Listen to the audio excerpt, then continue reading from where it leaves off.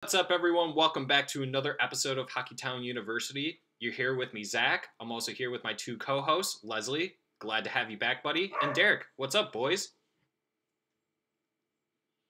Hey, Hockey World, how you doing? That, that was it from Derek. All right. That was, uh, that's all I got right now.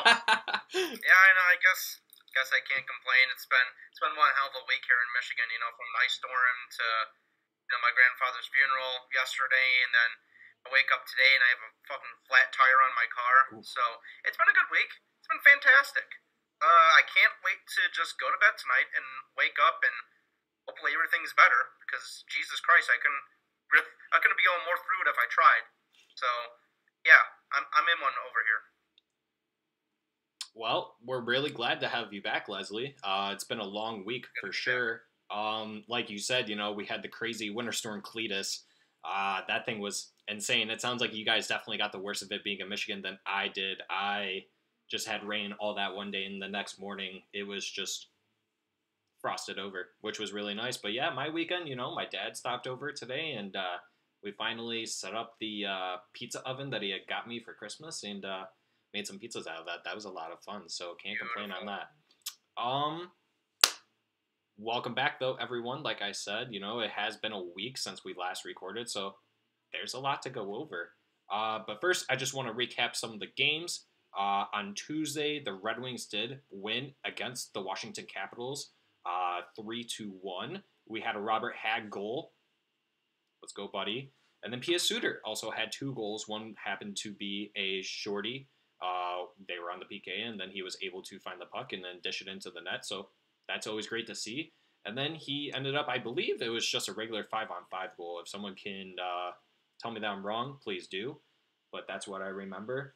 Uh, one important thing that did happen in that game was the Larkin uh, cross check to TJ Oshie and his beautiful face. Larkin was assessed a five minute major and a game misconduct. So not only did he have to serve a five minute penalty, but he also ended up just getting kicked out of the game in general. I believe it was Jakub Vrana who served the overall penalty, but yeah, that came within the first 13 minutes of the game. So that was a huge loss for the Red Wings. Luckily, like I said, they were able to rebound and bounce back from that without their captain, their best player. Um, players like Pius Suter stepped up big time. He ended up playing the first uh, line duties for uh, Larkin to maintain that. Uh, Copp also had a really great game, Rasmussen as well. The overall team defense just looked phenomenal, and I think that's how they were able to get rewarded in that game. I just want to hear from you guys, from what you guys remember. I know that happened on Tuesday, so it's been some time, but what do you guys think of that overall performance with Larkin being out? Leslie? Yeah, I mean, you know, the, the game was almost a, a week ago, so I'll do my best to remember that because you know most most days that I wake up, I can't remember what I ate last night. but yeah, I mean, the, to open up the scoring, we had offensive dynamo Robert Hagg right there, just ripping one home from I think it was the blue line, so that's good to see. Oh. Um, he's invisible most nights, but I guess he just decided to turn on at that point. And then we had our elite, elite, some are saying top centerman, Hugh Suter. He chipped in two goals, so I believe at that point, I don't know what his stats are now, but at that point he had about five goals in five games, so he's definitely been on a tear. He's been honestly one of the best depth forwards, not just on our team, but in the league. I mean, he's he's really just been blowing us away this whole time. And yeah, I think it was a good complete game from the boys. Obviously, Washington without Ovechkin.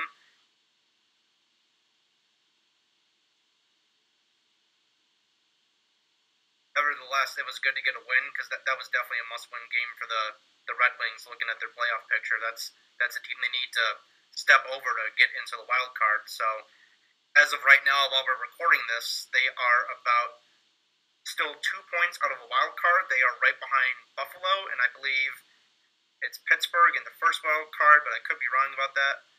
But yeah, they, they still control their own destiny if they win the games in front of them. So it's it's gonna be exciting to see what they can do from here. Yeah, for sure. What about you, Derek? I mean, honestly, it was a great game. I love watching how they played. I was a little upset seeing Larkin get taken out for that hit right now. It's just not the greatest thing in the world to see. It wasn't a massive cross check. Like, obviously, after watching the Tampa Bay game, we see another one of the same cross checks, but nothing actually gets called. It's just basic cross checking. sucks to see him get kicked out with that. But at the same time, it's whatever. Only that game itself was it, so we're good to go there. He's back in the next game after that. But, you know, we did great without him. It showed that the Red Wings don't just need Larkin to depend on, so that's really nice to see out there. Like, Suter did great, got two goals in there. We had Hagg for, well, score his first goal with the Red Wings after, what, a year and a half drought of nothing? Like, love it.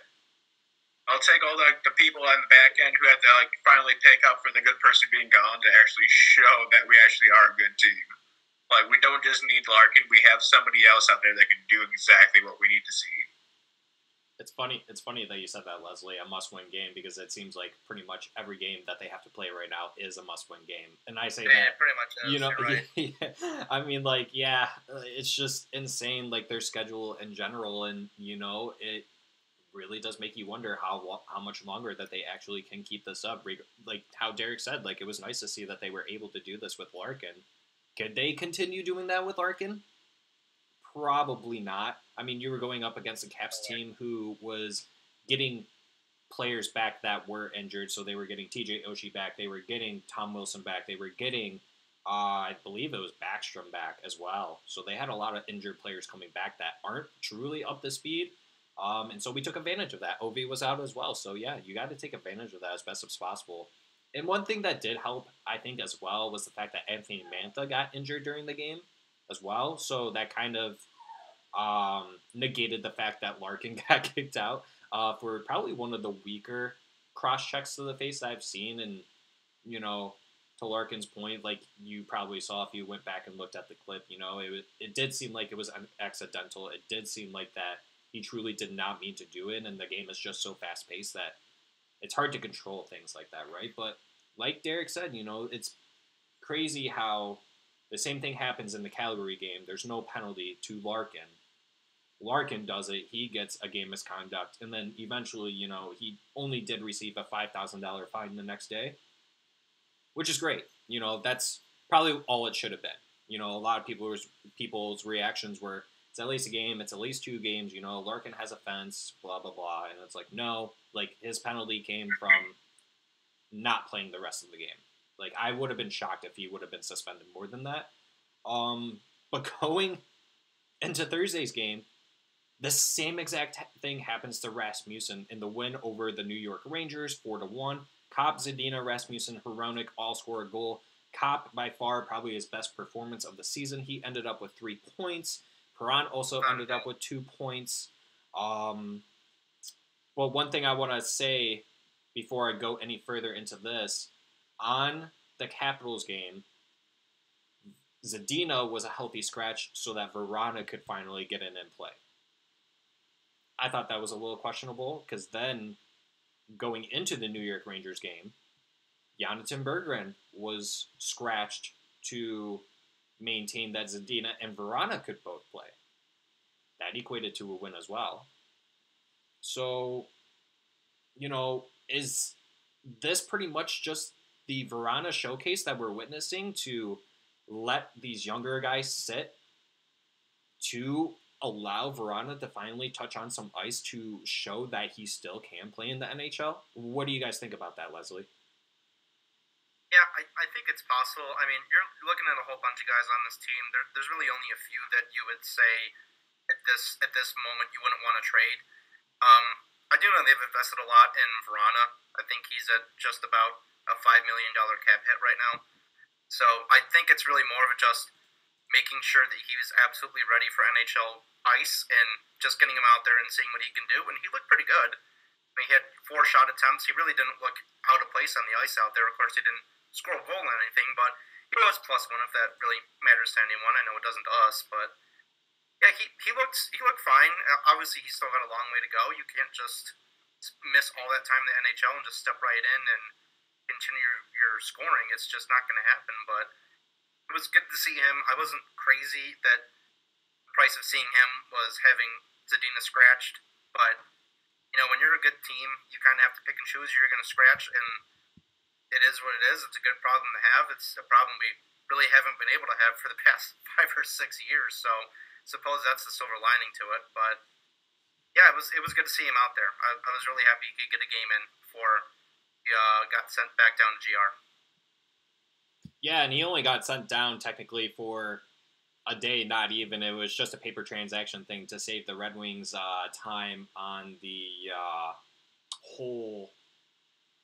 Uh, I don't even know how you want to call it. Like the, you can only have someone up for so long before they have to be sent back down or something. So it's just a weird thing on how the league works, and um, but yeah, I, and it's just weird because even going further, and I know I keep on going off on what I w- want to talk about on my top topics, but Vrana was then healthy scratch for Saturday's game. Now I don't know if that's because they wanted him to watch the game from above and just kind of see like what's going on, but that might have been a bad example considering that Vasilevskiy just came in and shut him out with 45 shots on net. They didn't get a single goal. Um, but I digress, and I want to backtrack to the cross-check situation. Like I said, you know, Michael Rasmussen was cross-checked in Thursday's game against Lindgren.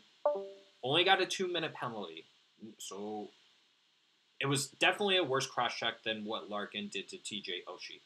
The fact that the refs even took the time to go over it with Toronto and see what the deal was and what the punishment should have been, I think it's we know that this has been an ongoing issue that the refereeing is very consistent at being inconsistent. They definitely make their choices more so on, to me personally, biased feelings. Not saying that they're against the Red Wings, but I don't think that the rules are as clear as the refs make it sound that it is or the league does. And it's very much on situational context, if you will. And uh, the refs don't really seem to understand that. At, at this point, I don't even care. If you get cross checked in the face, it should be the same thing for every single player. I don't care who it is, what team, how it happens. If you get cross checked in the face, if that's the precedent that you're setting for Larkin, do it for all these other players. You know, it, it it at this point it does seem like that the league is a little out to get the Red Wings, but that's not really what I'm trying to say here because I don't want that to be the precedent that I set. You know, talking to all you guys. You know, um, but it is just really bad how consistent that they are at being inconsistent. It's an ongoing struggle, and it's probably something that's never going to go away. And this is the league that talks about how they want to get rid of the dangerous hits, how they want to make it more of a safe league but the way that they go about their punishments is all wrong. You know, it's always different. And they don't seem to be very good at being consistent. I keep on saying that because that's what it is. They're very good at being consistently un- inconsistent. Three times, I gotta say it. So. Yeah, but I mean, you keep repeating it because it's absolutely right, you know? I mean, really the only thing that's consistent with these kinds of things is it seems like the Red Wings are always on, you know, the, the bad end of it. Like, I, I don't really get it. It's just, I guess you have different crews refing games, so th- those kinds of things shouldn't be up to interpretation, but I think there's just some crews who will look at it in the moment and say, this is a five minute major versus, oh, this will just be a power play. I, I, I really don't get how they do it. I, it really should just go through the rule book, but of course, that that's just not how it is. Um, yeah, I, I was actually I have a theory about that. Maybe it's just Larkin got more time because he cross-checked T.J. Oshie, who's who's a noted very handsome man, and Michael Rasmussen. As much as I love him, he's not exactly a looker. So that one's just you know that's just a regular power play. Don't even worry about it. It actually probably was an improvement, but uh, yeah, I, I don't know. There's really something that's got to change. And like you said, they're, they're always trying to crack down on these violent hits to clean up the game a little bit. They're really not going to be able to do that until they finally get like a punishment sorted out for this sort of thing. Because if it keeps going like this, then there's there's just no hope of it changing. Yeah, no, for for sure. And uh, Derek, welcome back. I know that you had some technical difficulties there, so you might be a little lost for those of you that aren't uh, paying attention to the video. The yeah, so we talked about how it, how consistent the refs are being at being inconsistent. You know, you get cross checked in the Calgary game, no call. You get you cross check in the Caps game, you get kicked out and you get a five minute penalty on you. Then you go into Rangers and you only get a two minute pa- penal- penalty power play. Yes, if I could talk. Um, you know, against the Rangers for the same thing that Larkin literally did to Oshie two days before. What what's your take on that? You know, is it is the situation different or is it just all the same if you cross check someone in the face that set the standard that it's a game and five minute power, power uh, penalty? I mean, yeah, that's what you're supposed to do. You're supposed to have a same standard, no matter what the player is. I don't care if it's TJ Oshie, McDavid, Larkin out there getting smacked in the face, even though it was Larkin on Oshie for this instance. Just have consistency. I've been watching all these games. The only thing I'm going to be the devil's advocate for the people out there. The refs are pissing me off. I usually just don't give a hell about what the refs are doing out there. Like, okay, fine, do your job. You're up here in the pros. Do something. That's fine. If you're going to do it consistently, make it consistent. Don't make it against one team worse than another team. Like that doesn't make any sense. You're gonna make everyone look at you badly, and we're all gonna get pissed off. Like we are. Like even down to freaking icing calls, which I was already complaining to you guys about earlier, trying to watch the last two games here today. Like what is going on with those? Literally one bounced off the board, went to the goalie, and he was literally trying to play the puck, and they blew the whistle well, our guy on the Red Wings was really gonna beat the other defenseman to it anyways. I'm like, what? What are you doing? You're getting actually paid a lot more than I get paid at my job to do a refing game right now in the NHL. Like, do it, do it right. Like, it's not that hard. Like, it hurts my soul to see it. I, I'm the last one who wants to complain about refs because that's just a weak way out. At the same time, no. stop. I hate refs. Yeah. I'm, I'm out there because I them. No, yeah, and I think when you say that, Derek, I think you speak for. I would like to say majority of the Wings fans that we definitely. It seems like it's definitely been a year after year after year thing. I mean, just the inconsistency of it all. I mean, and it's not just us; it's other teams too. You know, I got friends that are loyal to other fan bases that say the exact same thing. You know, like they're just really good at being inconsistent, and it's always based on situational context of what's going on, but it also seems like it's a how did I say that, Leslie, earlier? It's uh it's a uh, feeling biased or um, just your overall emotional bias of what you feel like is a call and what isn't. And that's a problem with the refs, not the league. That's a problem with the refs that the league needs to set that standard for those guys. Moving on, before I lose my mind, the Red Wings did play against the Vasilevskiy Lightning on Saturday and lost 3 to 0 uh, with a 45 save shutout against the Detroit Red Wings. And yes, Vasilevskiy is just an all Tampa Bay player. You know, he carried that whole entire team. If he was not their goalie, I think the Red Wings had a really good chance because it's not that the Red Wings did not have quality opportunities. They had plenty of them.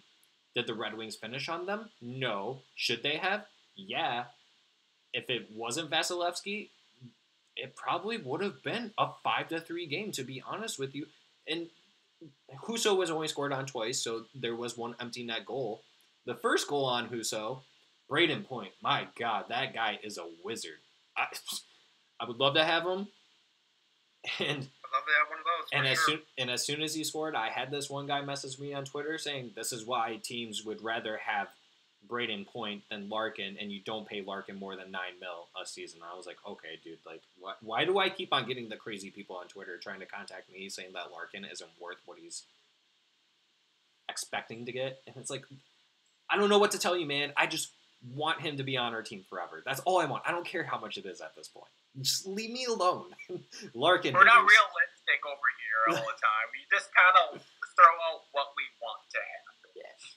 That's it. I'm Like, not saying not perfect. like all praise Larkin. Like I'm not doing that, but I am like all hail Larkin because he is the best player in the team. But yeah, I, I, I, crazies, stay away from me on Twitter, and I'm not putting out my Twitter handle on there because I know you guys are crazy. Not doing that. Uh, but yeah, going on in that game, Vrana, back to him, was a healthy scratch this game. Now, was he supposed to just watch the game from the rafters and see how the Wings did? Like I said, probably that's probably part of it, but you also got to give him a little rest because he's only played four games in the season so far. You know, and I don't know if this was necessarily one of the best games to make him watch from the standings, other than this is why we need you out on the ice is to bury the puck into the net. Because after watching that game, I think that that's where I stand right now is that this team really, really, really just needs that pure goal scoring uh, finisher at this point. Whether that's Vrana, a Pastrnak, whoever you have to go out in free agency to get via trade, I don't care. But that is one thing that the Red Wings do not have. Um, and I'll kind of go into that further down the line because I do have some questions uh, that I do want to ask you guys. But I want to go back to the Rasmussen topic as well. Going to Rasmussen, not only did he get a cross check in the neck on Thursday, but he also took a he took a really really hard clap bomb. I can't remember who it was from, but he took it right to his right to his kneecap, and I just cringed instantly. I was like, "There goes his kneecap." Like it's definitely got to be shattered at that point. It was dead on. Derek, Derek, you, replays were beautiful. Derek, you just watched the game, so give me give me your uh, exact reaction and uh, what you think about Oh, that, buddy. you man, you saw that thing go right to the inside of the kneecap on the left, on the right side of his knee. Like, oh god, right knee, left side, inside of his knee. Oh, probably going like 70 miles an hour. There's barely any pad there, anyways. And if you're like me, you take more padding out because I didn't want any padding in my pads, anyways. I didn't care. It's like you just take the shot, but my god, you can't do anything about that. That's like one in a hundred shots. Pro- well, depending on how fast it was and where it hit, he could have like shattered something even. I hope not. He got off the ice, but you know he had to limp off into the dressing room afterwards as we Yeah. watched that. Yeah. Like he didn't even make it in the dressing room all the way. They had to stop him, and then they had to go in there after like two other guys took him in there. It's like that's never a good sign. Like you can't make anything good out of that, Yeah, right, yeah. What, what were your thoughts on that, Leslie? What do you, what do you think is going to end up with uh, Rasmussen? Since we truly don't have any news on it, other than Lalone suggesting that it's looking like a Tyler Bertuzzi situation. So long term, foreseeable future at this point, techni- currently. But what what do you think overall? God, I mean, if he takes a, a shot off the knee and it's possible his kneecap is shattered, there's no chance you see him back. I mean, you may not even see him back for training camp. That's a brutal injury, and I mean, depending on whether he needs surgery or not, he's out whole summer. At least what are we now? February? Yeah, like six or seven months. That that's just that's a tough injury for him, and it's really a big loss for the Wings because he's he's just so good in that bottom six. I mean, he's he's just he's such a different player this year, and I, I really feel bad for the guy because this was the year he really seemed to be turning it around and just Mhm. kind of coming into form. I mean, he's just been tremendous wherever he was in the lineup, playing you know in the top six of Larkin, playing at the bottom six. So yeah, that's that's a that's a loss that I don't think a lot of people realize how big it is. I really don't. and I and I hate to cut you off if, if you're not done, but I do want to mention that I, I want to make a correction to your statement. You said bottom six. It's crazy to think that he has been playing the second line for uh, majority of the month. I'm pretty sure all month actually of February. He's been on the second line with Copp He's been all and. Perron. Yeah. Um, yeah, so he's been in the middle six, not so much as the bottom six, but either way, yeah, that's still a huge loss to your roster because he leads the team in shot blocking, and he plays PK. You know, I'm pretty sure he plays a little bit of power play, but yeah, that's a huge blow to your team, and he was having a really good season. So I hope that it's not long term, um, but if it is for the rest of the season, you know, I wouldn't be shocked. Um, but that is a huge blow to the team, unfortunately, and you know, I hate to see that happen considering that we are making a really great push for the playoffs. Like you guys mentioned, you know, we're just a couple points out. Um, we're currently right behind Pittsburgh. Pittsburgh has one point over us. Um, Buffalo has two points on us with the same games played, same as Pittsburgh, same games played, and then New York Islanders with 69 points. We have 64, but they have 63 games played, and we're standing above teams like Florida with the same amount of points, but we have three games on them. So this is such a tight race, and honestly, like the East is not getting easier. And once again, I'll touch on that here shortly. Um, but how? I, I just want to ask you guys, how badly do you think this Rasmussen uh, situation is going to affect their playoff chances? If Yzerman does not do anything to the roster in between, let's just say that they stay pat, they don't make any changes other than Rasmussen getting injured. Do you think that this affects their chances of getting into the playoffs? You, you know, I I would love to say yes. I really don't think it will. Um, I, I don't know who's going to slot in that spot for Rasmussen. I'm assuming it's going to be maybe a guy from the AHL, and when Raymond comes back, that that'll fill out the lineup. So, you know, it, it is a big loss, but in terms of pushing for the playoffs, I don't know if it's really going to make that big of an impact. But if we do actually get into a round, you may feel his absence a little bit because he's he's the kind of player that you have in your middle six who his game is, is really suited pretty well for the playoffs. I mean, he does yeah. all those little things with the penalty kill, and you know he's a great two way player. He's a great net front net front presence.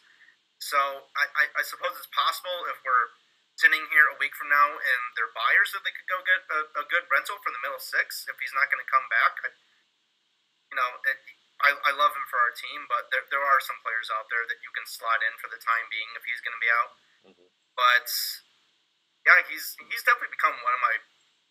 He's, he's growing on me. You know, he's, he's becoming one of my favorite players. So I am. I mean, shit. There's bobblehead right here. he says, "Oh no, why do I have to get injured?" yeah, it, it's a tough loss, but I, I think the the team could still band together and push for the playoffs without him. For sure, for sure. What about you, Derek? You think the Red Wings could still make a push for the playoffs without Rasmussen, or do you think that this is a sign saying that maybe they should uh, consider maybe selling? They would definitely always keep in the back end the selling aspect, but at the same time, I do think the Red Wings can, even without Rasmussen in there, like that knee, he's probably going to be out for a while. No one wants to see that or say that, but it's going to probably happen with what happened to him. I'm hoping for the opposite. But I do think the Red Wings could actually make it a little decent of a way. I don't know if we're going to win, you know. There's some teams out there that are making it pretty difficult for that to happen right now. But at the same time, I do believe we'll make a good push even without him in there. Like on the on the short run or the long run, you know. If you want to trade, it's a good option right now. Good selling time. See what we could get Obviously, we talked a little bit about that earlier, and it was a pretty dramatic kind of thought process we were going for. But, you know, if we can get something good out of it, I can't say it would hurt. But at the same time, he's been doing very well for the team. What did he score? What? How many points he has? Like four points in the last three games, minus the last one he was in. I mean, he's already eclipsed his point total, which was about five games ago. He did that, so he's he's doing great. Yeah, that's what I was hearing about too doing pretty well. Like, why can't you like either get something good for him or just you know keep on the back end? But I want to ask you guys, like, who do you think we're going to bring up? Because you guys are more acquainted with like, what we have in the AHL, the roster teams, and what we can bring up that can replace him. Besides me, because yeah, I don't know any of that shit. I mean, so I would like to do that. If I'm being completely honest, I we're so close to the trade deadline that it's funny, like we, we could even be a little mix of like sellers and buyers where we could ship off Bertuzzi because it's probably the best thing for the future of the team to do that and get wherever you can. And we could also go out and shop for a middle six player that could fill Rasmussen's spot. And I think I'd rather have that just from some guy in the AHL who's going to come up and you don't ideally want to have, you know, those just like patchwork players from the AHL on your squad when you're trying to push for the playoffs. You want to try and get every NHL caliber player you have. It's it's a tough race from here, and wing schedule is only getting harder. So I would I really like to see them add someone with experience, not just NHL wise, but playoffs in general. Myself personally, with that question, Derek, is you know this this kind of it sucks to say it, but this kind of comes in at a good time for Rasmussen to get injured because now that Lucas Raymond should be ready for tomorrow's game against the Ottawa Senators. Someone who hasn't played at all this week and has been injured for majority of February. You know, this opens a spot back up for him, and you still have Vrana to scratch. I guess that's like your 13 forward. So I don't see them calling anyone up or making a trade right away to fill in that spot because, like I said, you have Raymond coming back. Um, but I wouldn't be surprised as well if maybe they make Raymond sit a little more because that's it's only going to benefit him. There's no reason for us to bring him in quickly, especially, um, and I think that's the reason why because that was the the expectation was that he was going to come back on Saturday and play against Tampa Bay. Well, they didn't.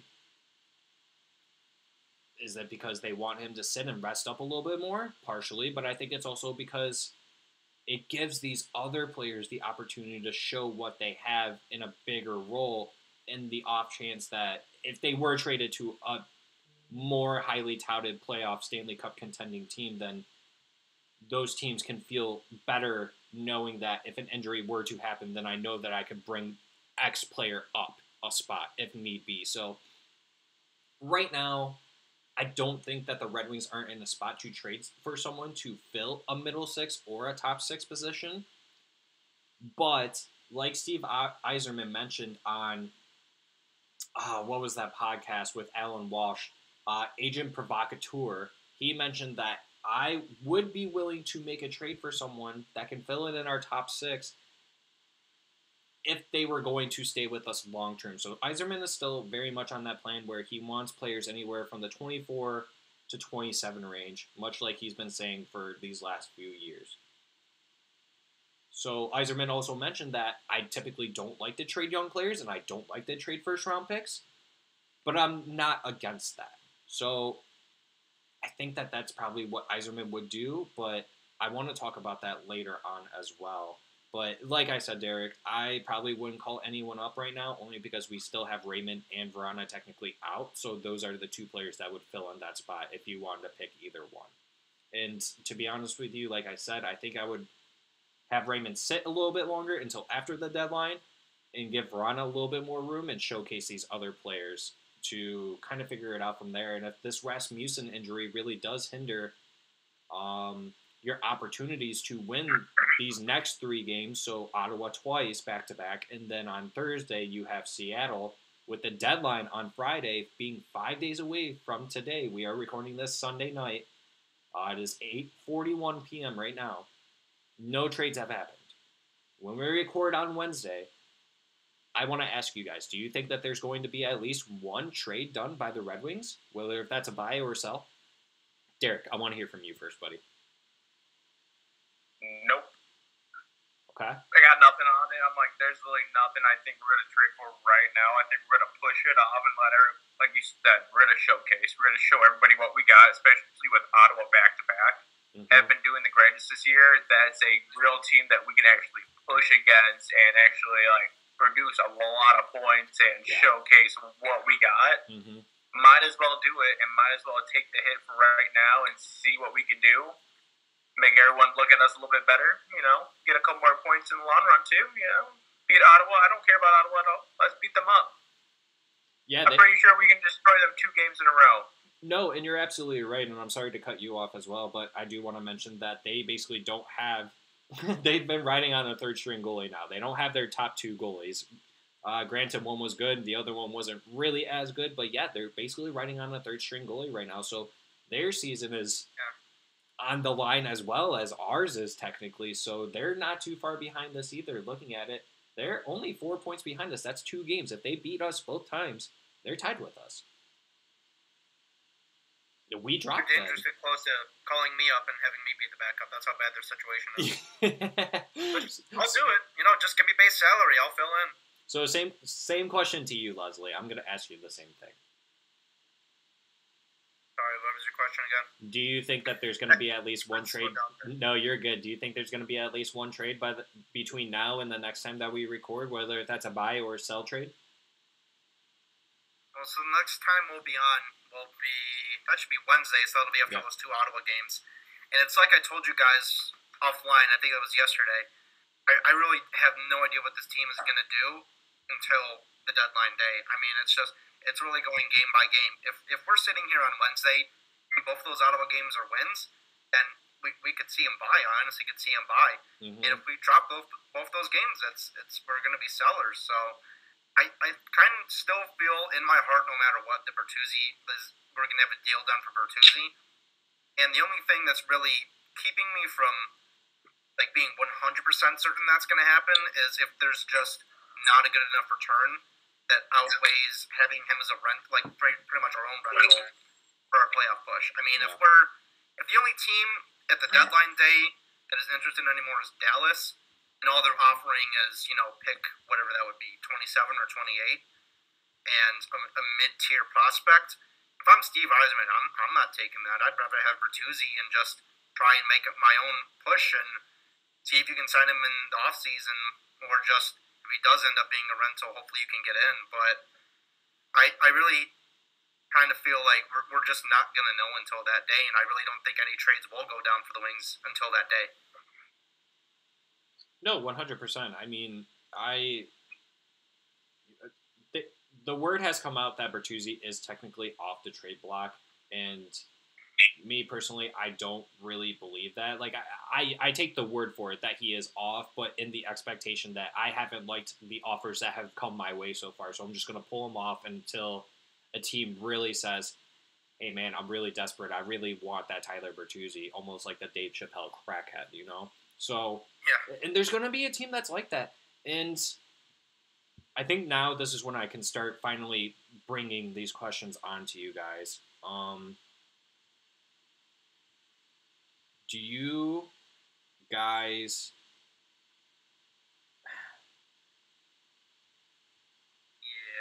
Yes. Finish that thought process. You got this, Dad. I mean, what do you guys think it would take truly to move a Tyler Bertuzzi?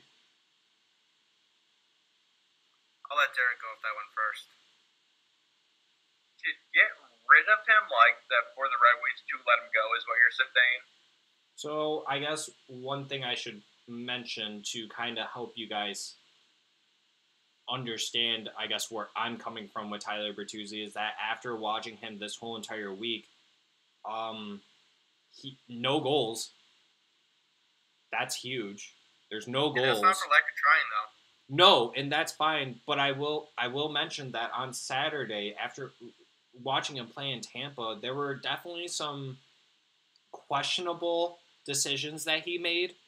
Um, his ability to get the puck after a pass was made to him wasn't exactly there. There were a couple of times where he fumbled the passes a couple, like a few times. Um, Fumbled a couple goals there too. Yeah. you know, but he had a couple opportunities to score. So it's for me, you know, am I willing to risk to make Bertuzzi my own rental? It's like uh, knowing that I don't even know where I'm truly going with this either, to be honest with you, because I think like at this date where I'm at now is that I've seen what Bertuzzi can and cannot do, and I think I'm finally at the point where I'm almost okay with getting whatever I can for him. Um, and I don't mean that as in like I just take a second round pick. I mean that as in if you can give me a prospect that can that has the ability to score, I might consider that, or a prospect that's similar to Bertuzzi, uh, the hard nose style of play.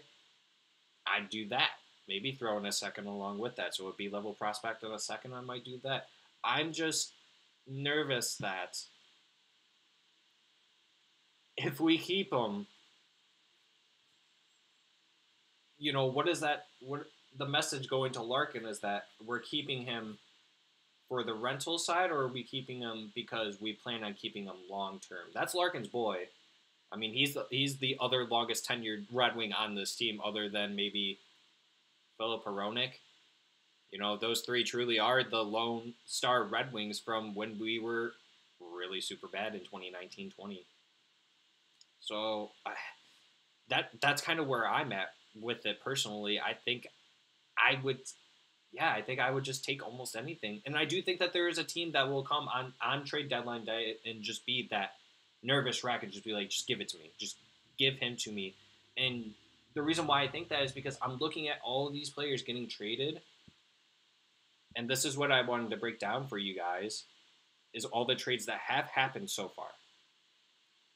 And for those of you listening, and to my co-hosts listening, I want you guys to make note of this, and I want to see if you guys recognize the trend that I'm bringing on to you guys when I say these trades.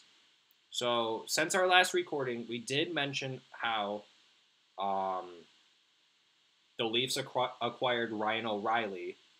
Um, the night that we did record, the New York Rangers acquired forward Tyler Motte from the Ottawa Senators in exchange for Julien Gauthier and a seventh round pick. Not really a lot. The Arizona Coyotes acquire defenseman Shea Weber on February 22nd and a fifth round pick in the 2023 NHL draft from the Vegas Golden Knights in exchange for, pardon me if I pronounce this wrong, Dysin, Dysin Mayo. Dysin Mayo? Yeah. Okay. That that that one blew my mind. I that one just we talked about that in our group chat, right? How it was That was a wild one. Now. I don't know if that's because Vegas needed the LTIR spot or if Arizona needed the cap because you need to hit the floor. So, same thing that we did with Pavel Datsyuk to help them out and get them a higher draft pick. And then we got Dennis Cholowski. We could have had Chychrun. It was it was most likely the floor for Arizona, I bet, to help out with the chicken trade. I Even think- though that still hasn't gone down as of right now. I mean, I think it's uh, it's probably both. Yeah, I mean, Yeah. Vegas obviously needs as much help as they can get because they've definitely put themselves in a weird predicament for years to come. They they always blow my mind somehow. On the same day, February 22nd, Chicago Blackhawks acquired Nikita Zaitsev and a second round pick in the 2023 NHL draft and a fourth round pick in the 26th NHL draft. Whoa. You never see trades like that where picks just like three years ahead of time. You don't know where Like, the they've team's. been chewing them up a lot this year, like so far. I mean, I haven't heard anything on the past 26, but I Yeah. wouldn't be surprised if we hear farther because they're just tossing those guys out there like free candy. That's what the Mhm. NBA does. I mean, like, it's not a bad idea. Yeah. Exactly. and that's the risk that you're willing to take, you know. Um, but along with that trade, uh, yeah, that was from the Ottawa Senators in exchange for future considerations. So nothing. They get nothing. Feature considerations literally mean nothing unless you, What Leslie said, here's a free steak. yeah, unless, unless you're like, you know, you're on the draft floor and uh, you're in the seventh round, and there's a guy that one of your uh, scouts really, really, really likes, but you don't have any more seventh round picks. You call up that team and be like, "Can we have your seventh? Yeah, fine. We owe you one. Sure. It's, it's just like, you know, the next time you're in town, I'll take you out to my favorite titty bar and buy a dance for you. That's, that's about really all it is. yeah. Okay. Okay. All right, moving on. On February 23rd, the Ana- analogy. I love it. February 23rd, the Anaheim Ducks acquire forward Josiah Slavin from the Chicago Blackhawks in exchange for forward Hunter Drew. No idea. February 23rd, Blockbuster. Blockbuster. Boston Bruins. Now, this is the big one. This one was a good one. The Boston Bruins acquired defenseman Dmitry Orlov and forward Garnet Hathaway from the Washington Capitals in a three team trade that also included the Minnesota Wild. Now, I think it was you, Leslie, who asked why the Minnesota Wild keep on retaining these salaries and getting these picks for it. Well, that's pretty much it. They're just taking on caps so that way they can just get more picks. Now, I don't know if that's for trade purposes to collect as many picks as you can and then just shell them off for another player. That very may well could happen, but not very Well, often It could just be picks. It could be picks you just deal with the draft to trade up, that as well. you know, or trade down. Oh, that as well, you know, and there's Yeah, it, it could, it could go either way. Uh, but continue on- on with the trade. The Bruins also acquire forward prospect Andrei Svetlakov from Wild, and Capitals acquire forward Craig Smith, first round pick in 2023 NHL draft, a third round pick in the 2024 NHL draft, and then a second round pick in the 25 NHL draft, Derek. We're getting pretty wild, no pun intended. But yeah. Uh, 25th. And then the Wild acquire a fifth round pick in the 2020, 2023. Holy shit. Tweet, tweet. Uh, draft from the, Yeah, you got this. From the Bruins. So for taking on 25% of the salary, the Wild, the Wild just got a fifth round pick. That falls along between the lines of, you know, the Red Wings did that in the past, and that's about what they got. They got fourths. They got, I don't think they ever got a third, but it was like a fourth and a fifth, you know. whatever.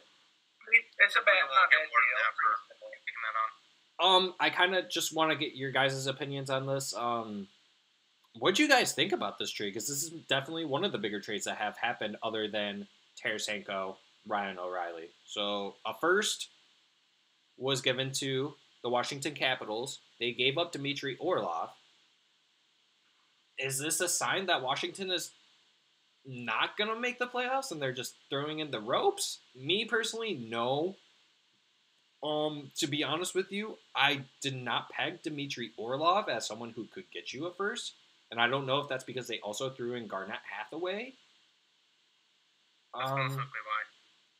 but but you also got Craig Smith, so I guess that makes sense. Boston wanted to upgrade from Craig Smith, and that's how you got Garnet Hathaway. Craig Smith isn't exactly the best, it's not only that, they, they had to move him to make the cap space too. right? As well, yes, that is correct as well. So, like I said, the Capitals got a first, a second, and a third for Dmitry Orlov and Garnet Hathaway, essentially.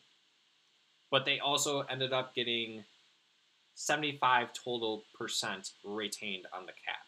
So they had to pay more because of that, I'm assuming. Now, I like I said, I want to hear your guys' thoughts on this whole entire trade. Do you think this really helps Boston? Me personally, yeah. I think this really does help out their defense.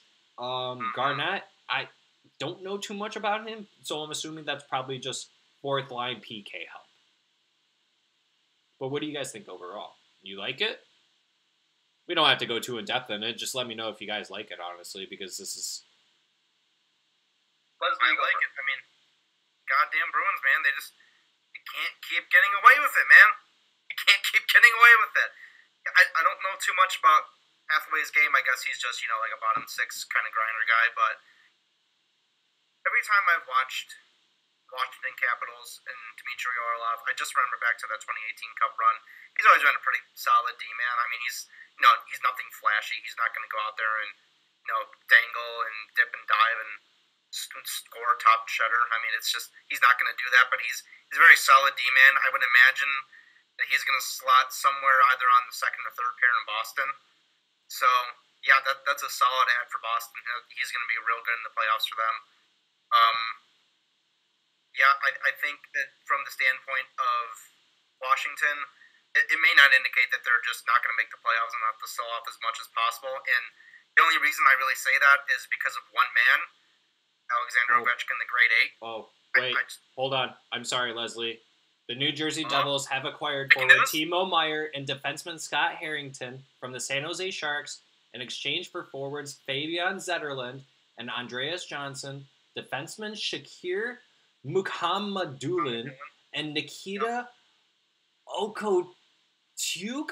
I'm so sorry, whoever you are, and a 23 first round pick and a conditional 2024 first round pick. Whoa. Whoa. Wow, that's a big trade. Holy That's why it took so long to announce because oh my god. I was expecting at least one first round, but they talked Wow. Two for two years. Jesus Christ. So they get a 23 first and a 24 conditional first. I don't know what the conditions are on that, but that is one haul of a trade. I don't know too much about these. I remember this Mukhamadullin guy being drafted. I remember the He's name, but believe. yeah, he was like Yeah. it was one of those picks where like this guy could have been taken in a second, but that's okay, you know, whatever. But I mean, four. What is that? Four prospects, five, one, two, three, four, and two picks. Four prospects.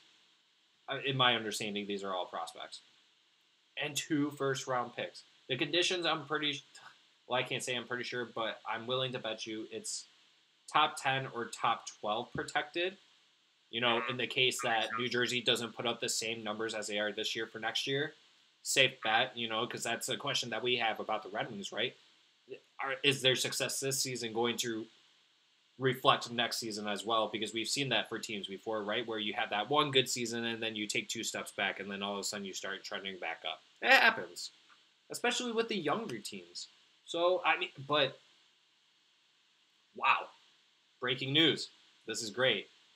This is what we I live mean, for. we're hoping for it. I was telling you guys too in the group chat too. I mean, like the trade deadline, yes, is on Friday, but like things really start to heat up like the like five days right before. It's usually that Sunday night before and that Monday is when all the bigger names start to go and then all the smaller deals. So, uh, so now that this happened, I I before I go on talking about all the other trades that we missed, I I want to mention this to you guys, and I just exited it out of it, and I hate myself. Let me pull it back up. Oh boy, I think I lost it. But yeah, what a what a what a deal! I Leslie, I want you to see if Cap Friendly has that up yet. In the meantime, I am going Full to find where this thing went. And I'm I- useless over here. I have no internet. I'm going off my phone right now, so. oh, I tried to look up dear. Timo Meier, and I spelled his name as Timo Meower. Close enough. So one thing that I want to mention that I wanted to bring up earlier that I said that I would wait for. Here's the trend that I'm starting to notice that I don't think you guys have really picked up on yet. When I when I mention these names, I want to see if you guys notice the trend I'm saying. Timo Meier, Bo Horvat, Ryan O'Reilly, Vladimir Tarasenko, soon to be Patrick Kane, and Dmitry Orlov. What do all those players have in common right now?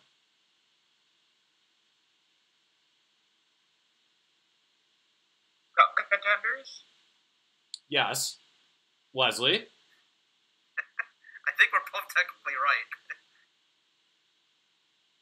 What what did did you not hear me? No, I did not hear you. I'm sorry, buddy. They all play in the NHL. Okay, that's also oh, correct. well, fair enough.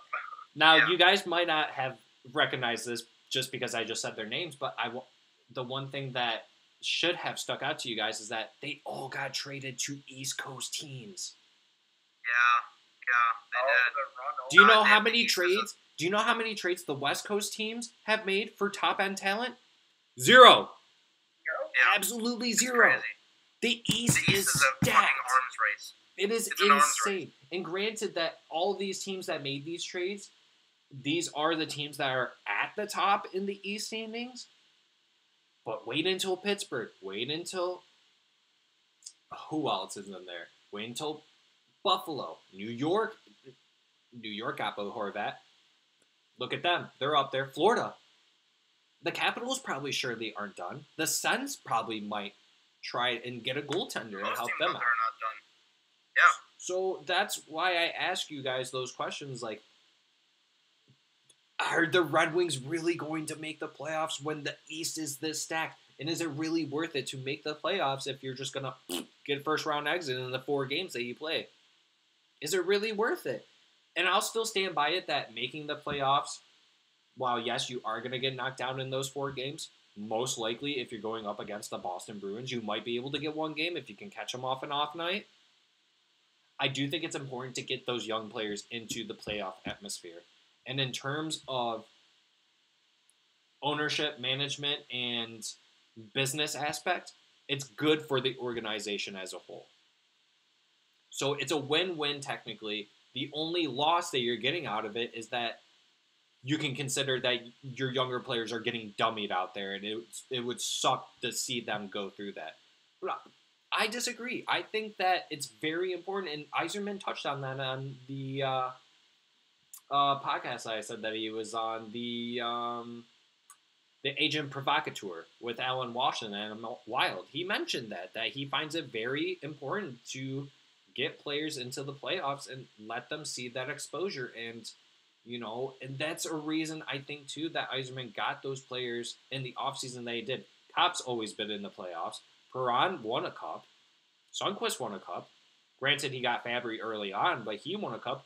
Husso's been in the playoffs and he looks good. Kubalik's been in the playoffs? No? He's been in Chicago the whole time. All right, that's fair. Coming You, out of got there. me there. Maybe he was in Europe. I don't know. Yeah. So you know what I mean. So like this seems to be the trend that Yzerman wants is that like he wants the room to be filled with these players that have been there to teach these young kids when you get there. You know this is what you have to do. And so that's why I think it's good to put, really do push for that playoff. And if you don't make it, you could still say that like you worked your tail off, you did what you could, and you know. And if Yzerman doesn't make any moves and they don't make it, you still call that a success because we're still very much in the realm of looking at the positives outside of not making the playoffs. So like the player development, the coach development, the scheme development, you know, is everything coming together? And it is. It, it's looking really great. And I said this in the tweet. I am on the Red Wings hype train right now, and I am riding it hard right now. Like I am hammering the dub on every single bet that I make for the Red Wings, even as foolish as that sounds. That's how hyped I am right now, and that's how much I believe them. You know, what do you guys think with every with all those names that I said? Do you guys really do think that the Red Wings could still make the playoffs, knowing that all these teams have bolstered their rosters and all these teams that are probably still going to? Derek. Well, yeah, honestly, I do. Even though these big trades are happening with ease, and you see all these big name players get swapped over, it's still the first time these players are all playing together. Like you need to have some like correlation going on with these players to be able to make it this far. And the Red Wings have been putting that together for seven years now. We've noticed that. And like having a good push will actually still help them in the future because we're going to see what they can do, what they need to improve on. And then after that, we're going to see exactly like even if they don't get kicked out in the first round, I know it's going to be, you know, we're probably going to go against Boston. We make it to the wild card spot. It's most likely that kind of situation. But at the same time, if we beat Boston, like, what, what do you think is going to happen? Like, we literally have endless options at that point. Like, if you beat Boston, number one team right now in the league, endless possibilities to move forward at that point. But we just got to keep the same mentality that we've had going for the last, what, 15 games? I think we're, what, 10 and 5 right now? Like, we can't beat 200%. That's beautiful. We keep that going, we'll end up in the playoffs, no problem. Yeah, I think in the last ten games we're eight and two, I believe. That's even, screw ten to fifteen. I love eight and two. That sounds better. Yeah. Okay. So Leslie, I think I already know what your response is going to be, but I want to hear it from you. You know, do you think that this is going to hinder the Red Wings' playoff chances, or do you think that they can still make a push? And do you think that they even have a possibility to make an even bigger push if they can beat a team like the Boston Bruins in the first round? Do you think that there is a possibility they could even get in the second round? So I, I think with all these trades going down and you see all those big names going to teams in the East, it's just it's such a thunderdome over here in, in the East Conference. It's, it's chaotic. It's I tough, love it. But yeah, I love. I mean, I love it too. I love the competition. That's that's what makes watching hockey so much fun. Not but, that Disneyland piss shit that they got over there in the West Coast, man. Well, those West Coast teams, I mean, they're, they're just pissing all over themselves, and it's running down to each team below them. So I don't know what the hell's going on over there. But yeah, I, I think if you watching how they played yesterday against Tampa Bay, I mean, if you play like that against every other team you're playing down this stretch, yeah you bet your fucking ass that's a playoff team right there. That team, I mean, I don't want I don't want to get too far out of bounds here, but that team looked like they could have competed for a cup. They were so good. Every line was going. I mean, you get goalie. It happens. You know, Vasilevskiy's he's just like legal cheating. So yeah. it, it, happens. It happens once, one now and again. I mean, we've had Husso get brick wall against other teams, so we know what that's like on the other end. But you know, I I said it on the last recording, which unfortunately got lost, but I'll say it again. Uh, the last eighth seed to go to a cup and win one was the LA Kings. Yeah. You know, they upset their way all the way to the cup, and I believe they did it again 2014. So pretty sure they did it twice. If they weren't the eighth yeah, seed again they, the second time, I, I, think they were at least the seventh. So yes, you can yeah, say that. so they, they, they were underdogs twice to win the cup. So yeah. you, you get in the playoffs and no matter who you're playing against, you, you throw out the record books. It's a brand new season. It's a brand new style of hockey. We have guys on this team who are experienced in the playoffs who have won cups. I, I really feel like with this team, the way it's put together, they may need to add a little something, but I, I think right now, the way they're playing, they're, they're good enough to compete with anybody. I, I really, I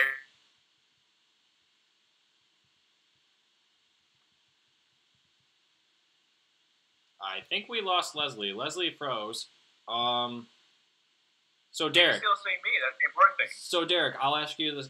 Well, we already asked you that question. So, okay, Leslie, I don't know what's going on with you, but we're gonna move on, and I'm just gonna go continue on with the trades that we did miss. Um, hopefully, we'll get you back here shortly, buddy. Um, but to there, there he is, I was about to bring him in here for a third. Leslie. We just get- we just lost you for a little bit. You froze. Um, I don't know what you were finishing up on, but just give us your final thoughts on what what you thought about that. Um, so do you think that they could still make the push or no? I definitely think they can, and I think even if you play against a team like Boston, which I think is projecting, or maybe even Carolina, and if it is a really tough series, which you may get swept or you just have tough performances, you at least show those young guys on your team what it takes to compete in the playoffs and win games. Yeah, They can come out of that in the offseason and say, boy, that was a tough fight, but we know what gear we need to find yeah, to push ourselves through the playoffs. And when we get more prospects up and those younger guys develop more, they reach their ceilings. I mean, we, we really could make some noise in the next few years. And I think it's massively important to make it very soon, if it can be this year, just to get your foot in the door. Because last I checked, the way you win the Stanley Cup, you have to make the playoffs first. So Yeah. we at least need to start with that, and we'll see what happens when we get there. But if anything else, it's a great learning experience for those guys like Raymond Seider, Berggren, I mean, you name it. So I, I would love to see a playoff push. I think at this point in the season, I'm not sitting there banging the table for them to, tank and get Bedard. It's way too, too late at this point, anyways. But I would I would love to see a playoff push, and the way they're playing, I think it's possible. yeah. I mean, I do. Like I said, the Rasmussen injury, I think that definitely plays a factor into it, and you might. You, and you can you can call me silly for saying this, but I really do believe that I this will be my hot take that I think that if you traded Tyler Bertuzzi, I think the player that you replace him with would be Michael Rasmussen. Michael Rasmussen, I kid you not, I the more I watch him, the more similar type of play he does Yeah. as Tyler Bertuzzi. He goes into the corners, he gets into those battles, he gets in front of the net, he goes into the dirty areas, and he's just so big that he can control that, you know, and he's really hard to get the puck off his stick as well, and he's just an all round like he's finding his game finally, and it really sucks that we lost him this close to the deadline. Um, I think it probably would have hurt even more had we lost him after the deadline. So part of me is kind of I'm not glad that he got injured, but I'm ha- uh, all right that it happened before the deadline. I there's not a good way to say it, guys. So don't be Uh, mad at me. never- There's never good timing with those kinds of things, but yeah. yeah, we'll see. So so me I personally, mean, you you know, want to see him playing too. That's the thing. Yeah. Um, me Yeah. personally, if you're not making any trades or anything, you know, do I think that this team could still make the playoffs? Yes, I do. A lot of things have to go right, and a lot of things have to go wrong for other teams. Um, yeah, kind of like how we touched on the two Ottawa games back to back. If we win both of those games, that might seal the deal on Ottawa. To be honest with you, I don't know how they could climb back after those two losses. Um, you know that will be both of both the Red Wings and Ottawa's 60th game of the season. So you only got 22 left to go. Obviously, that's plenty more time, but six points is huge. That's that's a three game difference that you have to catch up now to the Red Wings. Well, actually, I lied. That would be a four game difference. So that would be eight points. Yeah, it's going to be even more tough for them to get up there if they don't. If Ottawa doesn't try to at least get one or two points out of it. I digress, and I want to go back to originally what we were discussing is all these trades that we missed before the Timo Meier uh, blew our minds. To continue on, on February 25th, the Colorado Avalanche acquired goaltender Keith Kinkaid from Boston Bruins in exchange for forward Shane Bowers. Shout out to my boy Chase. Um, you guys really are making blockbuster trades out here. What can I tell you? He's a he's a Avalanche fan himself. Uh, one of my boys, one of my work colleagues. So big shout out to him. Keep it up, buddy. I hope you guys don't win another Stanley Cup for another 20 years because I'm a Red Wings fan and Avs suck. February 25th as well, Vancouver Canucks acquire Vitaly Kravtsov. This was an interesting one. Vitaly Kravtsov from the New York Rangers in exchange for forward William Lockwood and the seventh round pick in the 2026 NHL draft again, Derek.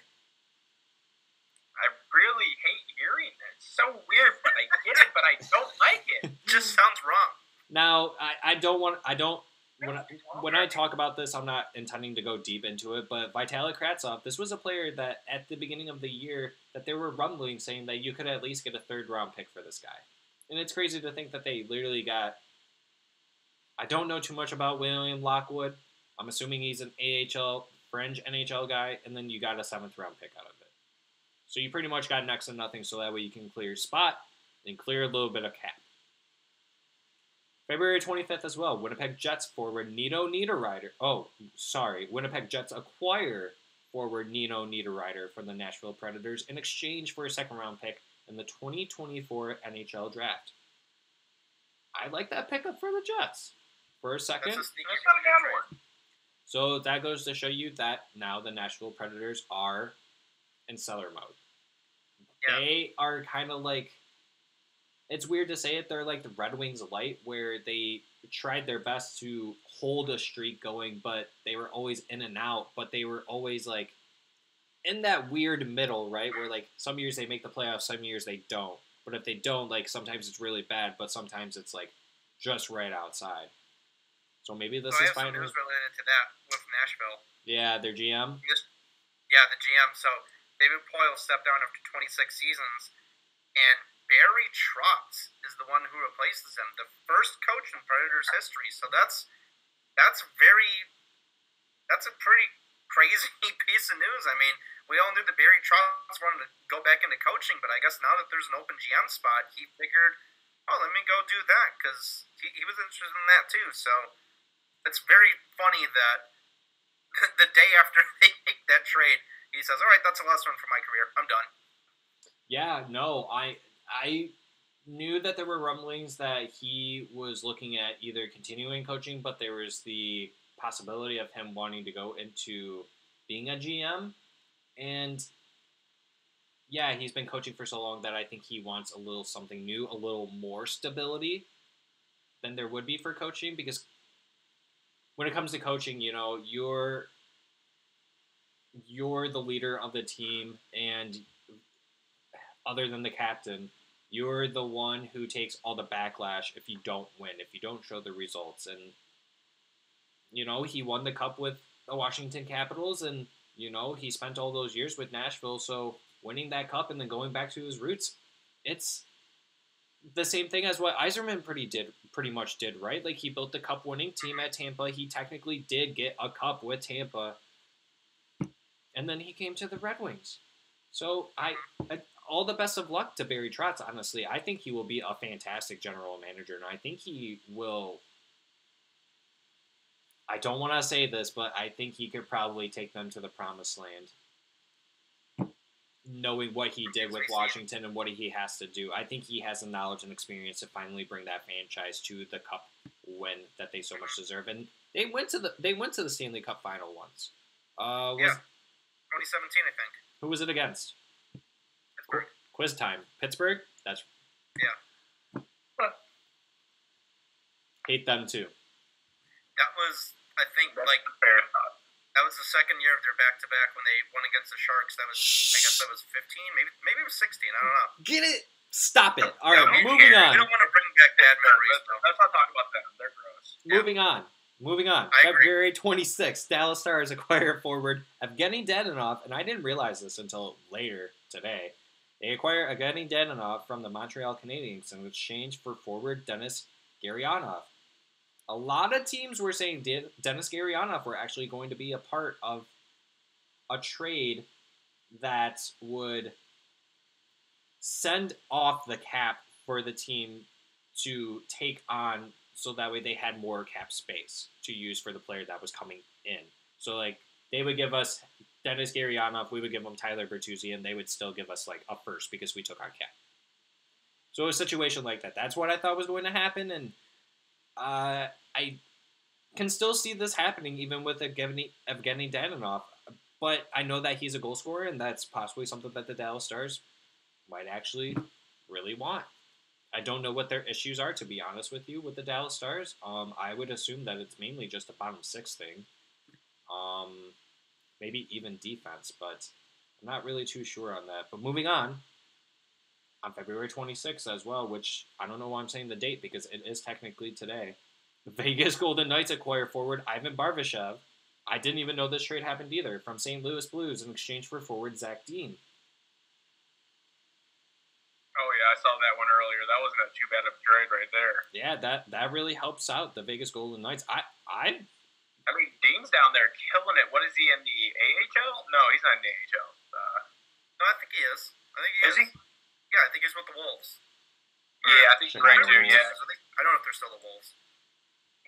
I mean, I think he has like almost 50 points already this season, Mhm. and like less than He's a first games. rounder in, I want to say 2020, maybe 19. I think it's 2021. Oh, okay. I think from what I, I mean, I saw this earlier too, so I wasn't too sure about it either. But so Zach Dean plays in the AHL right now. Or no, hey, Derek knows no, he stuff. doesn't. Look at So why is that. this? Why He is knows some prospects. He just doesn't know ours. It's it's No, no, don't. it said that he was when I before I clicked on his name, but yeah, he plays in the queue right now. He's got 49 points in 38 games, and then he played for the World Junior Championship U20 team. He put up three points in seven games I think that's where I know him from. for Canada. That's a, that's a good one for freaking Vegas right there. No, Zach Dean went to St. Louis.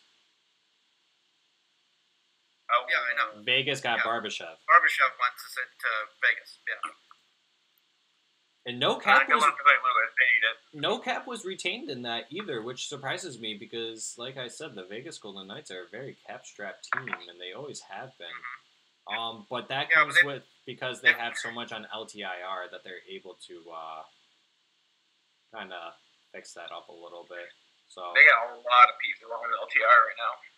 They've Oh. never really been afraid to mortgage their future for win now. I mean, it's kind of been their brand ever since they've been in the league. I mean, it's they're, they're the betting they're the betting team, so you know, might as well go with it. Always bet the house, I guess. Yeah. And then there's another trade that I completely just missed out on, and it was a Colorado trade. They traded, actually, I sent it to my boy Chase. So let me pull that up real quick. They traded, Jack Johnson. yeah, they got Jack Johnson back for Yeah. uh, Andreas Wow. Englund. Yeah, he Yep. won a cup with them last year, so I guess they Run it back. really, I'm about to say he literally left for less than a year. Yeah, and they pretty much got him back for almost next to nothing, which is pretty good. So familiarity, um, that only helps them out. But still, they're still out Makar. Who knows when they're gonna get him back? And then Landeskog, who knows when they're gonna get him back as well. So it's looking pretty rough for them. But pretty sure they're on a three-game heater too. So I'm not too worried about. And neither is Chase about the Avs. You know, um, I told them if they got Bedard. I told Chase if they somehow managed to get Bedard, I don't know how they would get Bedard, but I told him I would instantly become a bandwagon fan, and I'm getting a Mikko Rantanen jersey. That's what I told him. I'm a I'm a Oh, Rantanen guy. I, I'm a big Rantanen guy. I will admit that. As much as I hate the Avs, I let I, I get them in fantasy every year. Hey, if you guys choose not to pick them up, that's your fault, okay? And Derek, stop sending Hey. me booty trades. trade, yeah. I got a good trade for you, buddy. not to get too off topic, but uh, I did move our trade deadline back on the uh, uh, fantasy league, so we can make trades until March 6th. So that way, at least we still have a couple days to decide if we do want to keep these players who did get I- traded I was wondering earlier why I couldn't make a trade. I'm like, let me make my booty trade for Yeah. Zach and let me have fun with it. It won't let me. oh man, um, I kind of want to sit on this Timo Meier trade a little bit more, but I don't because that makes me wonder when is Chychrun gonna get done? He's been he's been out he's been out for almost the whole entire month. I don't know how much longer you can sit him.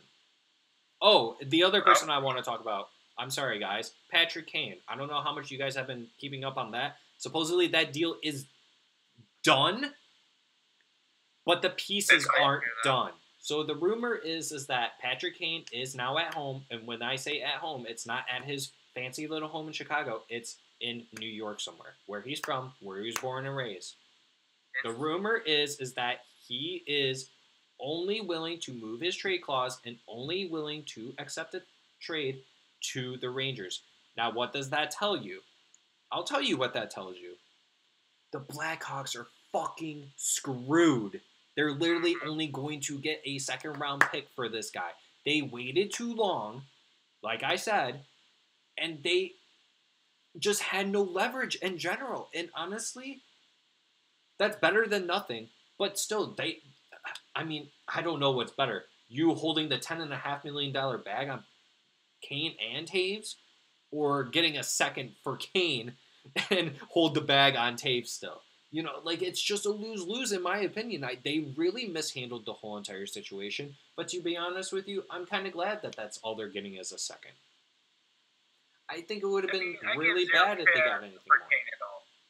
And to be honest with you guys, I think that that's the Rangers' least bit of concerns is going out and getting Kane. Like if they get Kane, that only opens up another big hole that they have.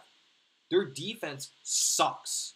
It's really bad. If you go and look at their last like 10 games, it's been god awful.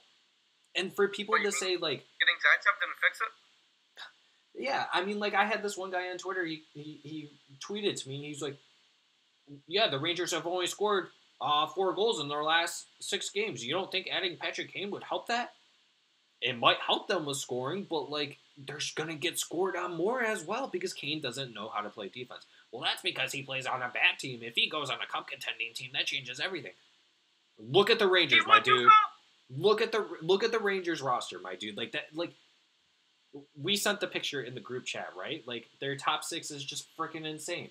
Um, I just want to hear from you guys. Do you think this is actually a good idea for the Rangers to get Patrick Kane actually after they just got Vladimir Tarasenko? Two lethal scoring forwards. Does that really make sense? Derek, what do you think overall? I mean, it really depends, like how much you pay him. It's like a situation like we got a freaking Tom Brady going sent over there, who was he's great forever, but he just wanted to go to Tampa Bay just because he's gonna retire down there. Is it because Kane wants to go home and retire, so he's gonna play another two years over there and he's done with hockey? I don't know. I mean, I know Kane isn't a bad player, but we can't push that out. He is on a bad team right now. Like the Chicago Blackhawks have downturned horrifically, but at the same time, you can't say anything against the fact that Kane still is a good, very good player. He's a great player. He still is a player. Yes. He'll depth on the team and some experience as well because he's old as shit now. But at the same time, like you got a young Rangers that'll help them out, give them some like idea of what they need to do for next year. Probably not gonna do too much this year. I don't think for the Rangers. Might be a playoff contender, but not gonna do too much. But next year they'll at least have an idea of what they need to do with him, and then he'll retire and be gone. That'll be it. As long as they get him for a good price, because I didn't see them post anything about how much he's getting paid. So if I- they get him for that, that's the real thing right now. that that's the other thing that you, that I think people are not taking into consideration. And to be honest with you, there, a lot of people aren't really talking about that. Is that they have they don't even have 500k left in their cap space to utilize. If the, Chicago takes even 50% back, his cap hit is over ten and a half million dollars. They have to be Like- giving up a lot. You know, so like not only like you're gonna have to get a third team to come in here, and I'm telling you right now, the Chicago Blackhawks. I, I, I'm I'm putting it out there right now. It's only gonna be a second round pick that they're gonna get. Chicago's only gonna get a second round pick. Patrick, it's not just Patrick Kane, but Patrick Kane truly did actually put them in a really tough and bad position to trade him because that's literally the only team he wants to go to. And the Rangers don't really have a need for him, and they're like, okay, well, if you if you really want us to take him that bad, this is what we'll give you. We'll give you a second. Take it or leave it. They don't need him. That's that's the leverage that the Rangers currently have right now. Is that they don't need him. Let me read you all, let me read you guys the line combinations that the Rangers currently have. Okay, here's their top line. Chris Kreider. Goal scorer. Mika Zibanejad. Playmaker. Vladimir Tarasenko. Goal scorer. Second line. Artemi Panarin all round really good player. Vincent Trocheck, all round really good player. Barclay Goodrow, you can make the case that he probably shouldn't be on there. And we were talking about Leslie how Jimmy Vesey at one point he was slotted in the top line for whatever reason. I don't know if it just changes on the day to day, but yeah. Then you get then you look at the third line. You have Lafreniere, Filipino, and Kappa Where do you put Patrick Kane on here? And why do you think adding another goal scoring threat is really going to change the dynamic of your team? We dummied them four to one. The Red Wings dummied them four to one. Granted, they didn't have Igor in, but Igor hasn't been playing well either. So it just blows my mind that like these Rangers fans and the Rangers are actually considering just getting Patrick Kane. I, I, almost feel like if I was the Chicago GM, I'd just be like, we're just not going to trade you. We're not just going to give you away to a team to let you help them win just to get a second round pick back. I don't even care. Even if the draft is so deep in 2023, that second round pick is nowhere going to be near as good as Patrick Kane. Not even close. I would be surprised if it even turns out to a regular 50 point player, to be honest with you guys. That's where I stand. I'm sorry. I went on a rant. It's Le- Patrick Kane. What can you do? Leslie, how do you feel, bud?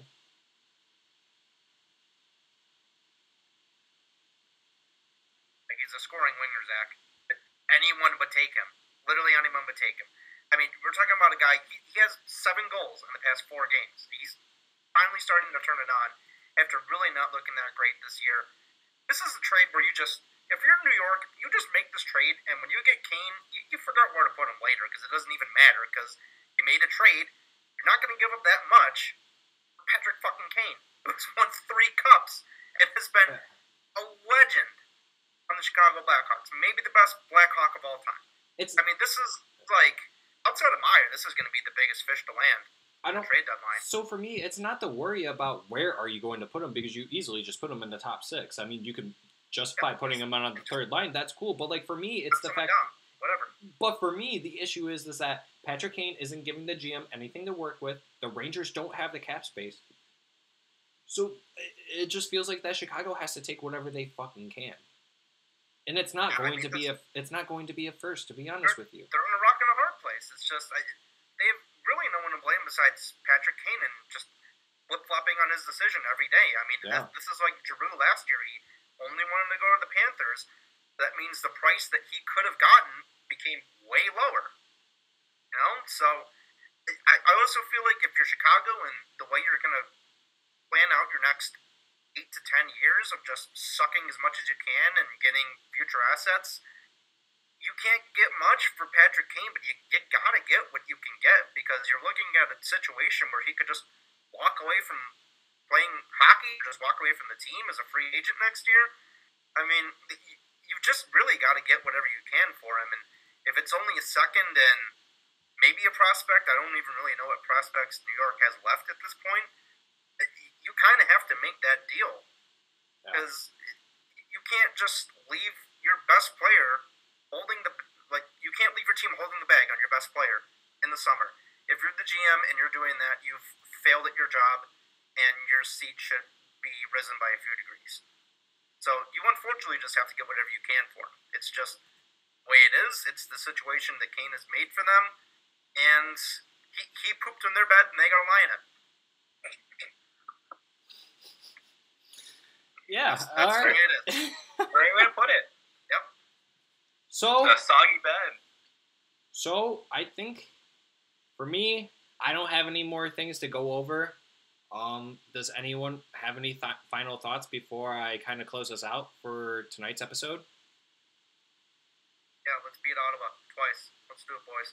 That was uh, that was going to be my final closing statement. So I just want to ask you guys one more question. You know, what do you, other than dubs, what do you guys expect out of these back to back games? Do you guys hope that it's a high scoring game? Do you guys expect it to be both high scoring games? Do you think one game's going to be a blowout on either side and then it's going to be closer in the second game? Or what are you guys kind of expecting or what are you guys hoping to see?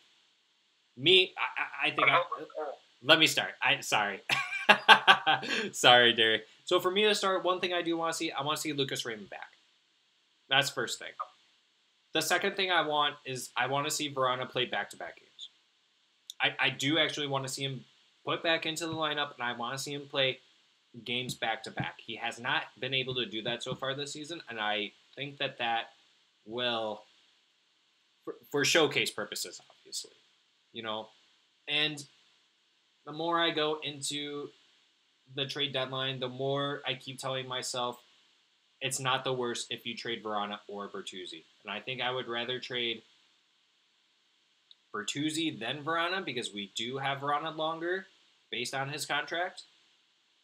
Um, because negotiations supposedly aren't going well with Bertuzzi. Not saying that they can't progress in the summertime, but yeah, I think you're gonna try and get as same thing with Kane. You just gotta get what you can because to be honest with you, I know that Bertuzzi has done a lot for this team, and I do think that he plays an important role here. But I think he, I think he moves on, personally, if we don't sign him. So, um, Derek, you're next. No, honestly, thanks Go ahead. back to me. But yeah, I mean, my main thing is I want to see Husso get a goddamn shutout. He's been doing so well with all these games so far. He deserves at least one, especially against Ottawa, a team that we should easily beat every time. Mhm. I'm going for like a three to one, maybe the first game, but the second game easy 2-0, 3-0. Let's go with that. Like I'd love to see Vrana play though. I'm gonna get on the bandwagon with you on that one. Back to back games, Yeah. keep him going. It's like he has some skill. I've been he, he's noticeable. That's the good thing. He's like out there. He's not doing anything massive, not throwing points up, but he's making plays. He's getting passes away. He's starting stuff going. Like let's see him like get like actual game time. You know, get up to 15 minutes, 16 minutes out there. He'll start putting some points up, making some better plays. Get him on the third. What is he on the third, fourth line right now? I have no idea. Vrana? Someone throw that one in. Yeah. I believe it was third and fourth line duties, but I, I want to throw that in there as well, Derek, that I would like to see him get a little more playing time. Maybe put him on the power play, the second unit. That would be nice. Although I, think do believe that he did. I think he did on Thursday. A little bit. I could be wrong, but that's also something I would like to see, especially if you are going to showcase him for trade purposes. Uh, but speaking of goalie, Derek, Linus Ullmark got a goalie goal last night, so I would love to see Husso get one this season. I think that would be nice. freaking goalie goal and 30 wins at the same time. Jesus Christ. No wonder Yeah. Boston's killing it right now. Leslie, I don't want to hear your propaganda on those goalie hugs being cringe, bro. Those are fantastic. We love those goalie goal or, I uh, would hugs. worth a goal like that. I guess it's only me. I mean, shit. Every time I see it, it's just like, what the fuck are you guys doing? Jesus Christ! Spreading the love, man. Hey, spread the love. You're not in the fucking Pee Wee Quebec League. What the fuck Oh are we my doing god. Yeah, have fun in the NHL. You're boring sack crap. Come on I guess now. I guess I'm just used to watching Formula One where all the drivers hate each other. So I'd rather see that. I'd honestly rather see that. All Um, right. Out of these Ottawa games, like, I really want to see the boys, you know, have some more performances like they did against Tampa because these two games we're sitting here talking about like, oh, these should be easy wins. These these are literally the definition of trap games. Yeah. They're mu- they're kind of must win games, and if the guys go out there and they're kind of sitting back on their heels, they could easily find themselves on the wrong end of this. Um, for, for both games specifically, I'd love to see Seider on Stützle, shutting him down the whole game Mhm. and try and continue Brady Tkachuk too. I think if you kind of shut those two players down, that's a good formula for success in those two games. Yep. And I just I just want to see more positive momentum riding all the way to the deadline. And once we get past that, depending on what they do, we'll, we'll see where it goes. Yeah, um, one added thing that I would like to throw out there too is uh, Jake Wamengel. He's looked fantastic. Uh, Yes. uh, the more He is old one now. I keep saying this, the more and more games that he plays, the more I'm just like, okay, just just here's a four by four. I don't even care anymore. Like I'll worry about my defense Yeah. later, like with the prospects and everything. So, but that's all I have for tonight's um, final thoughts. Go Red Wings, Dubs. yes, sir. Double dub, let's go with it. All right, We'll come everyone. back with the two. what Derek said. All right, everyone. Well, we thank you for joining us on another episode of Hockeytown University. Once again, we will be back on Wednesday nights recording Uh, the episode will air on Thursday. Tonight's episode will air on Monday when you guys are listening. Um, yeah, we're hoping for some dubs. And as always, everyone, we thank you again for joining us. And once again, let's go Red Wings. Dubs only. Till next time. Adios. Only thing we preach.